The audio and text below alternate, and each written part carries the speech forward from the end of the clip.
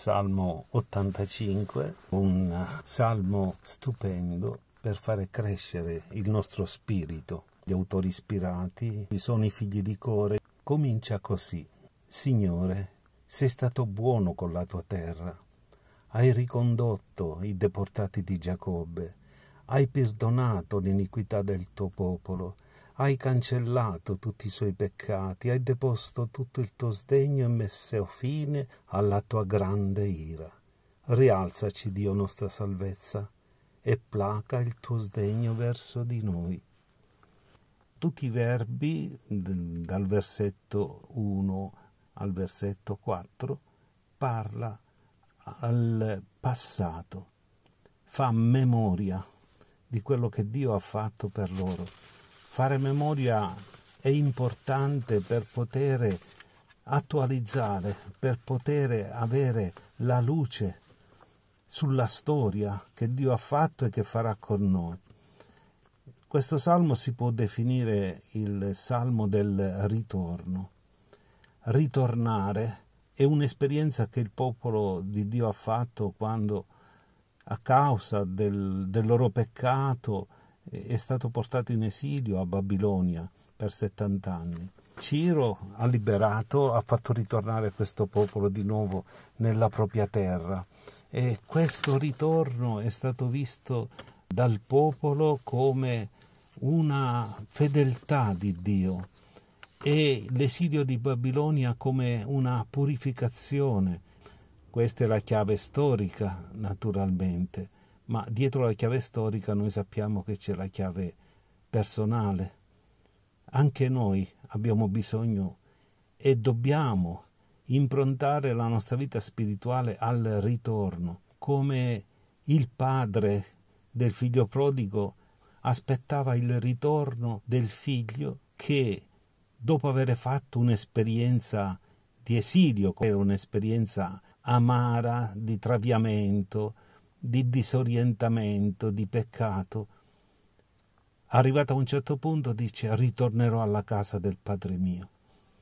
Questo figlio che prendendo coscienza del proprio peccato vuole ritornare e dall'altra parte c'è il Padre che in persona Dio Padre che aspetta, aspetta con amore che il figlio ritorni. Il suo amore verso questo figlio che ha chiesto l'eredità pur essendo il padre ancora in vita e ha dilapidato tutte le sue sostanze in malo modo con una vita dissoluta. L'amore del padre non si è interrotto, ha continuato a sperare nel ritorno. Per noi è importante avere una spiritualità di ritorno, anche se non ci sentiamo traviati oppure persone, chissà, questa sottigliezza del ritorno deve essere una costante per tutti. Ogni giorno si sperimenta la propria debolezza, la propria necessità di ritornare. Questo salmo è il salmo del ritorno, è il salmo della promessa. Ci sono delle parole nel salmo, adesso lo continuiamo, che sono meravigliose la prima parte e si fa memoria del passato, come per noi è importante fare memoria nella nostra vita, non ricordando solamente le cose negative. Infatti, se parliamo con gli altri, nelle discussioni con le persone, si parla sempre di problemi e di cose negative. Questo salmo invece ci invita a fare memoria Elenca le cose buone della tua vita, scrivile in un quaderno, in un foglio, le cose belle nella tua vita, perché la tentazione è di ricordare solo ed esclusivamente le cose negative. Fare memoria è la caratteristica di tutti i salmi, fare memoria. Noi siamo chiamati a fare memoria, continuando con il versetto 5 Dice così, rialzaci, Dio nostra salvezza, e placa il tuo sdegno verso di noi, forse per sempre sarai dirato con noi, di età in età estenderai il tuo sdegno. Vedete qui che i verbi di queste frasi, della parte centrale del Salmo, sono tutti al presente. Quindi, dopo aver ricordato il passato, si ricorda l'adesso, il presente, ci si rende conto che dopo aver fatto anche esperienze belle della liberazione che Dio ha fatto con noi, della forza che ci ha dato quando noi pensavamo di essere perduti, tuttavia nel presente sperimentiamo contemporaneamente la nostra debolezza, il nostro peccato. Molte persone rifiutano di considerarsi deboli che possono sbagliare. Molte persone rifiutano di sentirsi peccatori. Infatti dicono: Ma io non faccio niente di male. Io non ammazzo, non rubo, non faccio niente di male. Ma non è questo che ci esime dal sentirci deboli e peccatori, in pensieri, parole ed opere. E San Giovanni, nella, nella sua lettera, dice così: Chi dice di essere senza peccato fa bugiardo Dio. Ci sono persone talmente cieche che si credono perfette. Questo modo falso di vedere se stessi li porta a non guardare l'amore gratuito di Dio verso il peccatore. Non è l'impeccabilità quello che fa di un uomo, di una donna, un cristiano, una cristiana, quanto invece è importante l'incontro, il rendersi conto di quest'amore che è sopra ogni cosa, sopra ogni peccato, quest'amore che vuole condurti ad avere una relazione intima, profonda con Dio. Infatti, se nella prima parte del Salmo i verbi sono al passato, nella parte centrale del Salmo i verbi sono al presente, ora, adesso. Nella terza parte del Salmo, dal versetto 7 al versetto 14, eh, si parla al futuro, cioè dire le promesse che Dio ha ha fatto a tutti noi, ha fatto al popolo e a tutti noi, delle promesse che scavalcano la debolezza di questo popolo, che è stato ammaestrato come anche noi siamo ammaestrati da Dio ogni giorno attraverso la storia. La storia di salvezza del popolo di Israele è la nostra storia di salvezza. Anche noi, la nostra vita è una storia. Ma la vediamo come una storia di salvezza? Guarda che mi è capitato, oppure poteva andare meglio, oppure potevo avere un'altra storia invece della storia che ho vissuto, sto vivendo. Ma ti sei riconciliato con la tua storia? Fai memoria per poter aprire il tuo cuore e i tuoi occhi, i miei occhi, alla promessa che Dio ha fatto, che meravigliosa, è una promessa che si realizza anche al presente. Tutte le volte che noi ci apriamo all'azione di Dio nella nostra storia, nella nostra vita, entrando non nella nostra volontà e nelle nostre prospettive, quando invece nella storia che il Signore sta facendo con noi, che è in funzione della unione, della nostra felicità eterna, della nostra preparazione alla vera vita. Come vi dicevo, tutti i verbi sono al futuro, come un qualcosa che si re- realizzerà in assoluto. Versetto 7. Non tornerai tu forse a darci vita perché gioisca il tuo popolo. Mostraci, Signore, la tua misericordia e donaci la tua salvezza. Ascolterò, vedete, tutto al futuro, che cosa dice Dio, il Signore. Egli annunzia la pace per il suo popolo per i suoi fedeli, per chi ritorna. Vedete, abbiamo parlato che questo è il salmo del ritorno e qui dice che la pace è garantita a chi ha questa spiritualità del ritorno, ha la spiritualità del figlio prodigo che dice ritornerò alla casa del Padre mio, sapendo che il Padre non ha cessato un attimo di amarlo. E aspetta, come sta aspettando me, che facciamo un altro passo più avanti, più consapevolezza, più coscienza, più trasformazione, sempre in un cammino incessante che dura tutta la vita. Poi il versetto 10, la sua salvezza è vicina a chi lo teme e la sua gloria abiterà la nostra terra. In chiave storica questo si riferisce al ritorno nella propria terra dopo l'esperienza dell'esilio,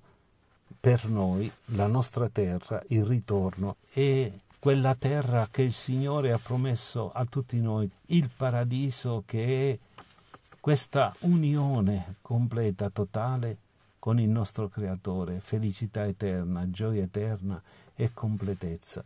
Poi c'è il versetto 11 e 12 che sono stupendi, meravigliosi, che dicono così. Amore e verità si incontreranno, giustizia e pace si baceranno. Amore e verità si incontreranno, sono legati, l'amore e la verità. Perché? Perché non ci può essere uno senza l'altro.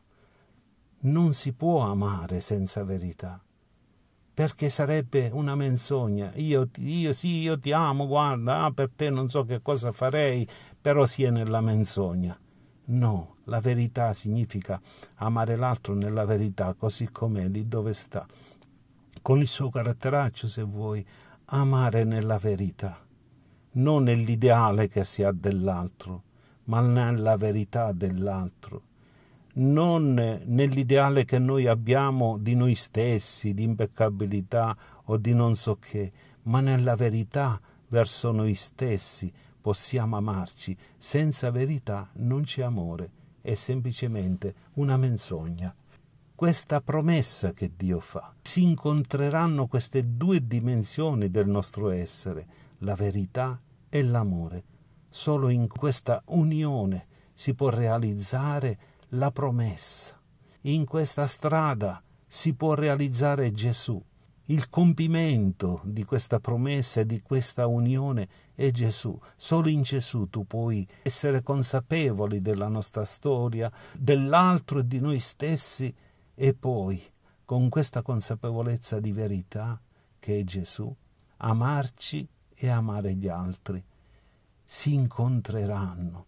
Questo verbo nella versione italiana c'è scritto si incontreranno futuro, nella lingua originale è al presente, cioè dire questa dimensione di amore e di verità che è Cristo, è un presente, è una verità che sta lì, è Dio. Io sono la via, la verità e la vita, dice Gesù.